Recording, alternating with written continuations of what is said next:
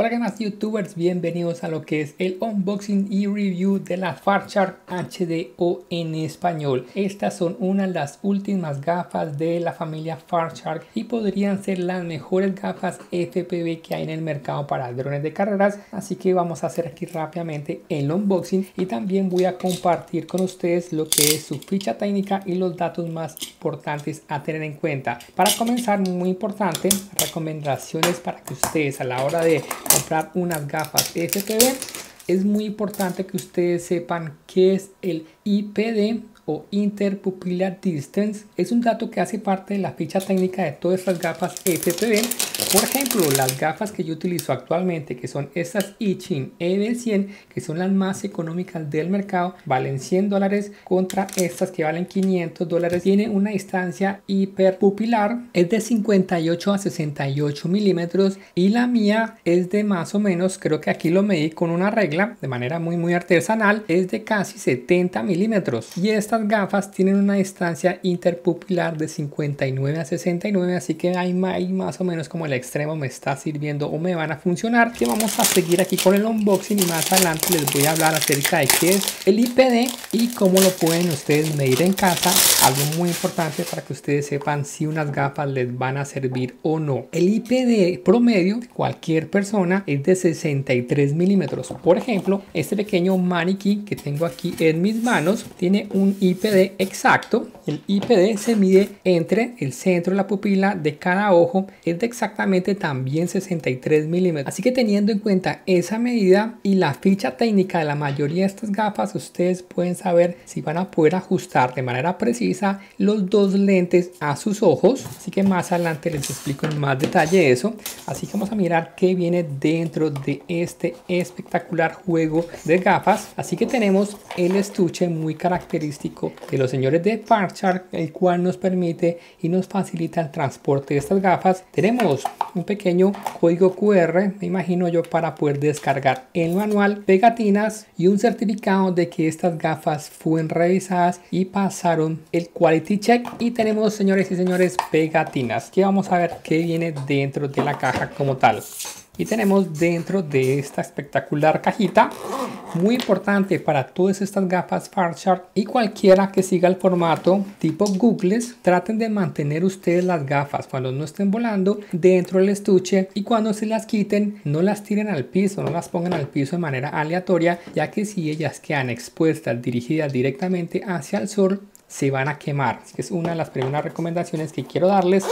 Sigamos mirando qué viene dentro de la caja. Tenemos un pequeño pañito para limpiar internamente. No lo hagan con sus camisas o si no van a rayar internamente el primer lente que está dentro de las gafas. Tenemos el sistema de batería. Ahorita lo destapo a ver si viene con baterías recargables o es un sistema como tal bueno, aquí dice 7.4 voltios, 1800 miliamperios hora.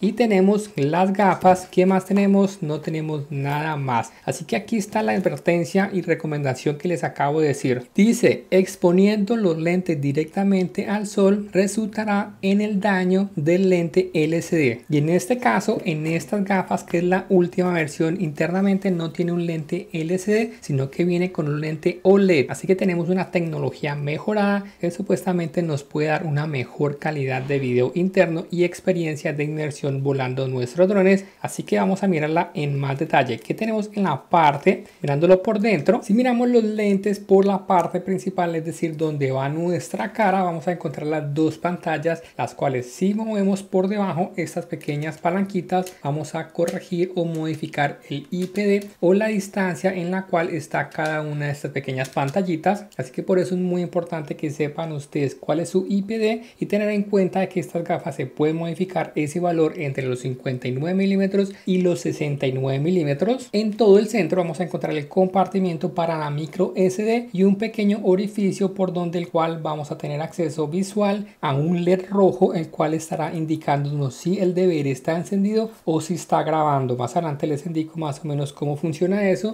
y también no sé si alcanzan a ver ustedes aquí más o menos utilicemos algo que no vaya rayar mis lentes por dentro. Que hay unas pequeñas ranuras. Estas pequeñas ranuras que estoy señalando aquí me permiten utilizar estos pequeños lentecitos que se venden por separado. Son para aquellos que utilizan gafas, así que nos permiten hacer una corrección de menos 6, menos 4 y menos 2 para aquellos que requieran o utilicen lentes. Si miramos las gafas por la parte de encima, vamos a tener acceso a sus principales botones. Aquí este que dice CH indica el cambio de canal y me permite cambiar los canales de acuerdo al módulo que estemos utilizando. Para cambiar las bandas, las bandas se deben cambiar o la mayoría de los módulos que pongamos aquí tienen un botón para cambiar bandas y en algunos módulos también el cambio de los canales se hace a través de ellos pero si utilizamos por ejemplo algunos de los módulos originales de FarShark los canales los podemos cambiar desde este punto con este otro botón que está aquí a la izquierda podemos nosotros cambiar la entrada de video que van hacia las pantallas si presionamos una sola vez escogemos la entrada análoga y si presionamos nuevamente seleccionamos la entrada digital ¿cuál es la entrada digital? la entrada digital es la de HDMI ¿cuál es la entrada análoga? tenemos dos entradas análogas una que está aquí a la izquierda a través de este conector y la segunda entrada análoga es el que tiene que ver con el módulo receptor de video si tenemos en ambos casos conectados entrada de video por el módulo y entrada de video por este lado los dos videos se van a sobreponer por eso únicamente se debe conectar uno a la vez. Al lado derecho tenemos el botón para subir y bajar el volumen el volumen que nos llega a través del receptor y sale a través de lo que es el conector que está aquí en la parte abajo para nuestros audífonos. También me faltó mencionar acerca de este pulsador o botón que dice display y control, el cual también maneja el brillo y el contraste. Para nosotros hacer ajustes de brillo debemos mover hacia la izquierda o hacia la derecha. Para hacer ajustes de contraste hacia adelante o hacia atrás. Este botón que indica HT es para el Head Tracker. Esta versión no tiene el Head Tracker como tal, se vende por separado.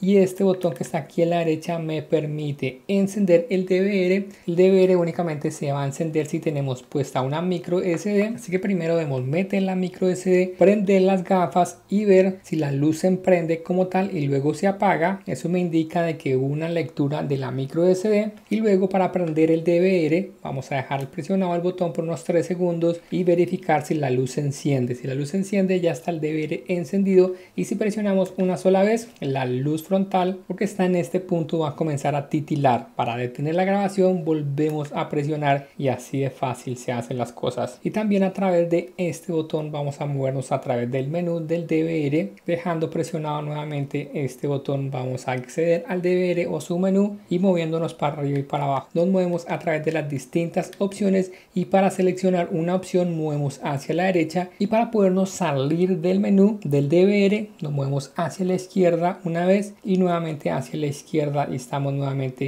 viendo las imágenes o el video que nos esté enviando el receptor o nuestra entrada digital. También en la parte encima vamos a encontrar el ventilador que básicamente es un anti-smog o anti-empañamiento, es decir, los lentes principales que están aquí se pueden empañar ya sea por diferencias entre calores, de pronto ingresamos a un lugar frío, salimos a un lugar caliente o nuestro rostro es muy caliente o el clima puede hacer que esto se empañe, así que lo podemos encender y para encenderlo debemos conectar el conector que trae la batería que ahorita les voy a mostrar e inmediatamente nosotros conectamos ese conector aquí, el ventilador no se va a encender sino hasta que nosotros presionemos este botoncito. Inmediatamente nosotros presionamos este botón, el ventilador se va a encender. Supuestamente, no sé si antes era así, nosotros después podíamos presionar este botón y en 7 minutos el ventilador se apagaba. Ya hice la prueba en estas gafas y el ventilador no se apagó. Así que para apagarlo tendríamos que desconectar también este punto de conexión que viene con la batería. Ahora por la derecha de las gafas vamos a encontrar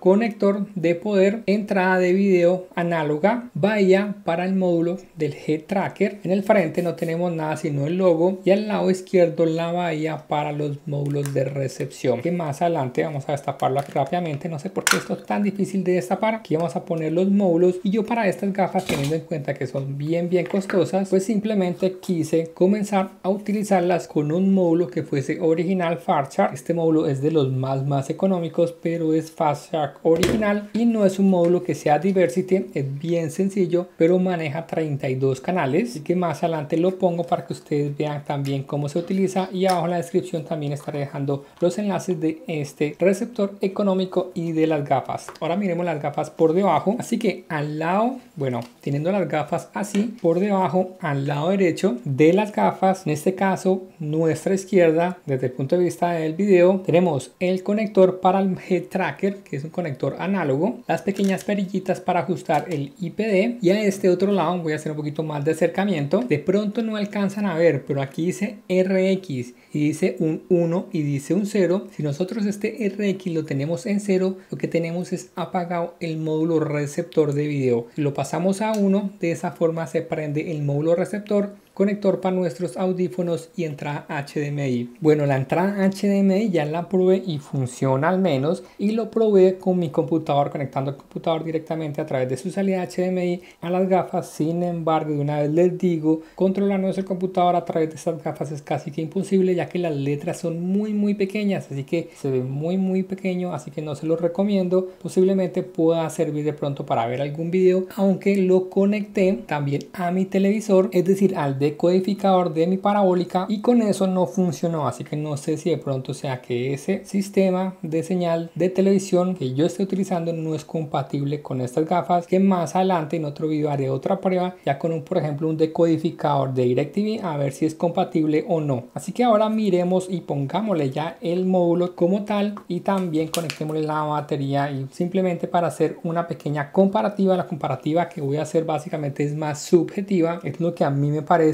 con respecto a las gafas que yo he estado utilizando que son estas que son más económicas de 100 dólares contra gafas de 500 dólares. La diferencia es muy grande así espero que vaya a haber una mejora muy muy significativa. Así que miremos lo que es la batería en esta ocasión. Vamos a destapar porque aquí hay algo muy importante que ustedes deben saber con respecto a este cargador como tal. Así que esta batería es de 7.4 voltios y es de 1800 miliamperios hora. Así que esta batería tenemos el conector principal, el cual va a encender nuestras gafas. Estas gafas no tienen un botón de encendido y este pequeño conector que parece un conector balanceado no es un conector como tal balanceado. Así que esto no se utiliza para cargar las baterías internas. Para cargar esta batería interna debemos utilizar este pequeño puerto, el cual es de 5 voltios únicamente para cargar esta batería como tal. Y tenemos en la parte de arriba un botoncito que nos indica el estado que cuando llega llega con tres rayitas que es básicamente el 80% yo ya le consumí una rayita haciéndole pruebas previas a estas gafas. Así que con este prendemos las gafas y con este vamos a manejar lo que es el ventilador. Y algo que viene aquí como novedad con estas gafas tiene que ver con el sujetador como tal de las gafas. Si ustedes la miran en este ángulo pueden ver que en la parte de arriba tiene como una curva y es completamente recto en este punto. Esto, aunque no parezca de pronto algo muy muy especial, es muy diferente a las versiones anteriores, ya que las versiones anteriores el cable como tal o este sujetador venía muy similar a este otro que tengo aquí en donde si yo quito la batería pueden ver que en este sujetador de gafas no hay ninguna como curvatura en la parte de arriba sino que es completamente simétrico. Y el problema de este diseño es de que cuando nosotros ponemos la batería por ejemplo si yo pongo esta batería aquí pueden ver que este cablecito tiende a quedar aquí en el centro así que la batería la vamos a sentir muy incómoda en nuestra cabeza y lo que debemos nosotros hacer es tratar de ajustarla de tal forma de que quede en esta posición para que esto quede lo más recto posible y no sentir tanto la batería. Lo ideal sería de que ya los amigos de Farchart comenzaran a poner la batería en la parte de atrás. Así con esta mejora en el sujetador, cuando yo ponga aquí la batería, pueden ver que esto va a mantenerse bien plano y no nos va a estorbar tanto esta batería como tal. Que voy a prender las gafas, vamos a ver si la lucecita roja se prende o no con o sin micro SD. En este caso no la tengo puesta, que para prender recuerden debemos de conectar y por eso es que mucha gente pide pronto un botón de encendido ya que siempre hay que buscar y mirar dónde es que se debe poner y conectar esto. Así que conecto.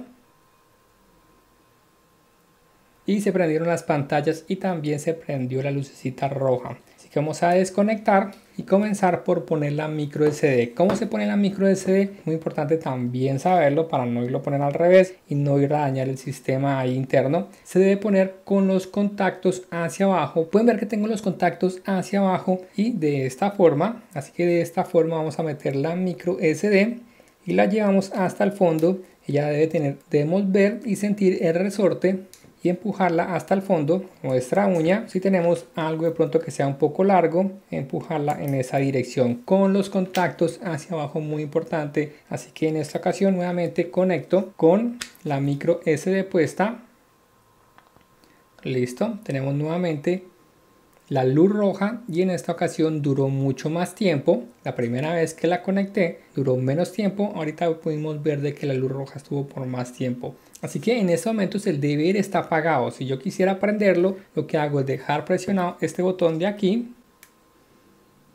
Listo, pueden ver que ya la luz se queda encendida permanentemente, lo cual indica que el DVR como tal está encendido. Para comenzar a grabar, presiono nuevamente, suena un pip, y comienza a titilar. Esta luz roja como tal, cuando tengo las gafas puestas, la alcanzo a ver por allá un reflejo a ambos lados. Así que yo creo que esta lucecita roja deberían cambiarla de posición o disminuir su potencia o permitirnos por allá dentro del lente, dentro de las gafas, ver un pequeño puntico rojo como hacen por ejemplo las Commander. Y para detener la grabación presionamos nuevamente el botón Suena dos veces y se detuvo la grabación y se grabó el archivo. Supuestamente si accidentalmente nosotros desconectamos la batería, el archivo se debe cerrar también, pero lo mejor es asegurarnos y hacerlo manualmente, encendiendo video y deteniendo video.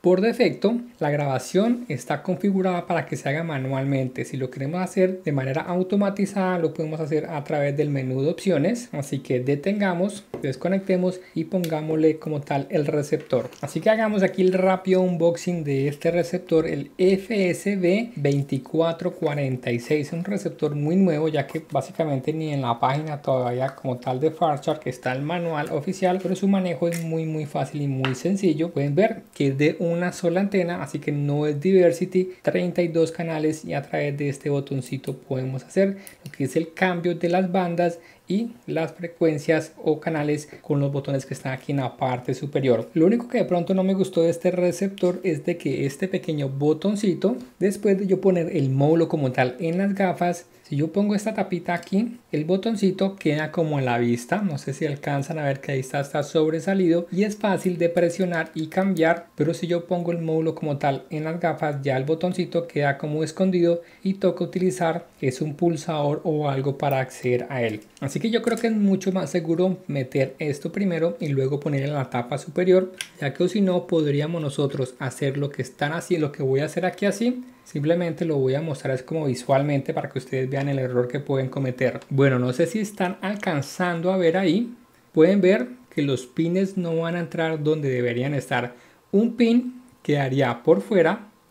Pueden ver que si yo sigo metiendo un pin quedaría por fuera y quedaría esto corrido. Así que es mejor hacerlo aquí así visualmente y estar seguros de que todos los pines van a entrar donde debe ser y ahí sí llevar el módulo hasta el fondo y luego sí ya ponerle esta tapita como tal estando seguros de que todo entró donde debía estar cuando pongo esta tapita pueden ver que ya este pulsador queda es por debajo aunque él no queda presionado aunque aquí lo puedo más o menos mover el presionado no queda pero fácil de acceder tampoco queda. Así que hay que utilizar un pulsador como tal para facilitar el cambio de las bandas. Y recuerden que el receptor se debe encender es a través de este switchecito que está en la parte de abajo. Hacia ustedes estaría el receptor apagado y hacia afuera el receptor encendido. Así que pongámoslo aquí en off, pongámosle antena. Muy importante utilizar una antena compatible. Esta antena es compatible con este receptor como tal. Y el éxito de un muy buen video en sus gafas radica, además de tener ustedes unas muy buenas gafas, tener buen receptor y tener unas muy buenas antenas. Así que esta antenita no es que sea de las mejores. Ahora sí, ya puedo conectar las gafas como tal y si volteamos a mirar aquí pueden ver que el receptor no está encendido. Si muevo la palanquita que está debajo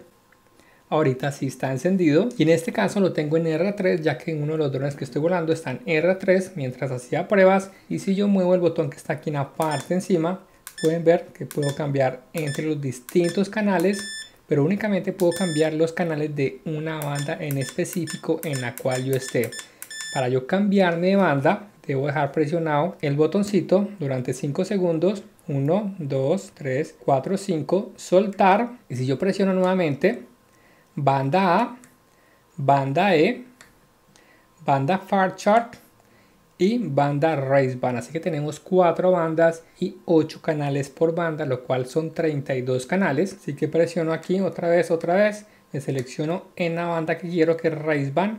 Dejo presionado y listo. Ya estamos fijos en la banda que queramos y cambiamos con la parte superior. Así de fácil y sencillo. Así que vamos a ver si alcanzo más o menos a enfocar algo aquí. Bueno, con la cámara que estoy utilizando es casi imposible para mí enfocar internamente en las gafas para mostrarles la imagen real, pero déjenme asegurarles de que sí es muchísimo mejor que mis Ichin EV100 de 100 dólares. Y en este caso también tengo otra mejora en cuanto al tamaño de la pantalla y su resolución. Estas tienen un video o resolución 720 x 540 y estas ya son HD 960 x 720 y además de esa mejora tengo mejoran en el field of view. Las EV100 tienen un field of view de 28 grados y esta tienen un field of view de 37 grados. Así que son casi que 9 grados de más pantallas más grandes mejor resolución que muy seguramente me va a facilitar mucho mejor el vuelo y ayudarme a mejorar y a nivel competitivo también. Bueno ahora miremos el peso como tal de la gafa. En este caso está con un receptor que es el original de Farchart, así que el peso también puede variar según el receptor que ustedes utilizan. Puede aumentar un poco, no creo que va a aumentar mucho, así que con receptor y con batería puesta tenemos un peso aproximado de 303 gramos en comparación con las que yo estaba utilizando si no estoy mal son más livianas 226 gramos así que la diferencia es casi de 80 gramos y vamos a retirarle lo que es el receptor como tal para que ustedes miren más o menos cuál es el peso y comparen con las gafas que ustedes tienen y pues le quitan el receptor y de esa manera tendrán una mejor referencia. Así que sin el receptor no sé cómo se podrá sacar estos receptores con facilidad para no irlos a dañar. Así que sin el receptor vamos a tener un peso aproximado de 281 gramos. Así que este receptor le suma más o menos unos 11 gramos y la antena unos 18 gramos y de esa forma subimos nuevamente a los 304 303 gramos. Así que el peso varía mucho según el receptor. Si es diversity es un poquito más pesado. Y si ustedes lo quieren pues más liviano pues no utilizan la batería aquí en el lateral sino que utilizan una extensión suben cable y así van a tener un peso aproximado de 295 gramos con receptor 216 gramos. Así que eso fue todo por este video. Espero les haya gustado. No olviden suscribirse a mi canal. Si tienen alguna pregunta, duda, no olviden en comentar. Estas gafas no sé si me vaya a quedar con ellas, ya que estoy esperando que me lleguen también los Onway Commander versión 2. Y ya teniendo esas dos, compararé con cuál me quedo y miro a ver cuál es mejor y cuál también es que es muy muy importante se ajusta más a mí, ya que algo que he notado con estas gafas es de que a mí personalmente me parece de que me entra bastante luz por la parte de abajo de la nariz, algo que no me estaba pasando con las otras que estoy utilizando, que no sé si de pronto dependerá o mejorará eso si yo cambio como tal lo que es este protector como tal, por pronto uno más gruesito, que sea más gruesito aquí en la parte de la nariz. Por lo demás, con lo que tiene que ver con la pantalla me parece excelente y muchísimo mejor la calidad a los que yo estoy utilizando. Así que hasta la próxima, like, like, like y muchas gracias.